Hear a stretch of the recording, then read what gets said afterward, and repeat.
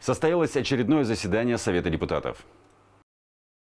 Народные избранники рассмотрели вопрос о присвоении звания «Почетный гражданин городского округа Люберцы». Профильная комиссия выбирала из пяти кандидатур.